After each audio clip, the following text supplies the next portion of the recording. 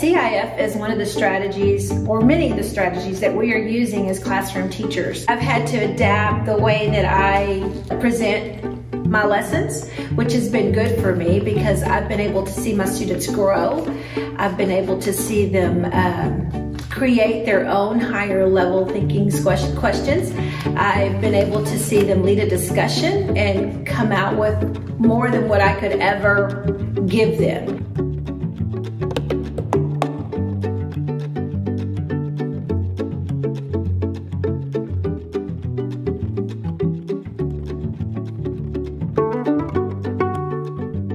It's been an aha moment for me to just sit back and see it develop.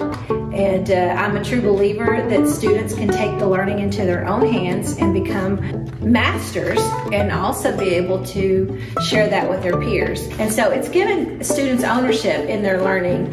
And uh, that's a really big thing in today's world is for them to be accountable for what they produce and accountable for contributing to their group. The six strategies that teachers use in the CIF are collaborative work, questioning, writing to learn, classroom talk, scaffolding, and literacy groups.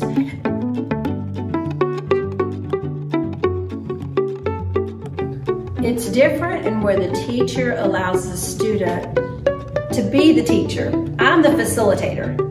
Instead of me direct teaching and standing up and lecturing and, and writing down vocabulary and have them look it up in the dictionary and memorizing and be ready for a test, it allows the students to take that vocabulary to share among their peers or to write it in their own definitions and to expose others maybe the way that they learn and then bring it together and apply it to the text that you're reading or apply it in everyday use.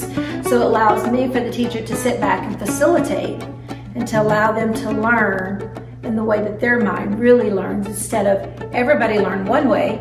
This is how I'm going to teach it and this is how you're going to learn it. So this allows for four or five different variations of, of learning. And uh, I, I think when you see that, you see growth in your students. And it's really neat to, to look at a group that's working together and have another student explain what the concept or the skill is that I've been trying to teach or that I, that I used to try to teach for weeks and weeks and they have it because it's in their language, it's in their learning, it's in their own time and they've got everything that they need right there hands-on and uh, it's just critical thinking, but it's critical thinking that's modeled by their peers.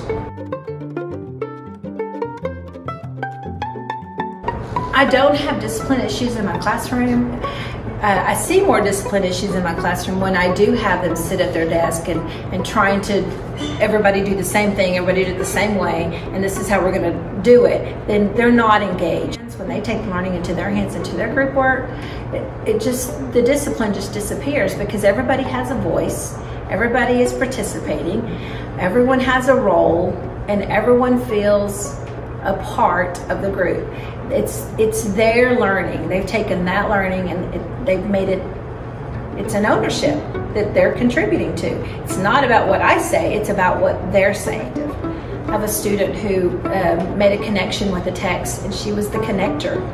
And uh, she shared a, a connection from the text that was not a positive thing in her life, but when she shared that, my other students were just in in awe of her opening up and contributing to the text that she connected. They didn't connect with that because they had not dealt with it. But she just opened up and she has not stopped participating in classroom because she has that comfortable zone of, okay, I can do this. I My input is just as important as their input.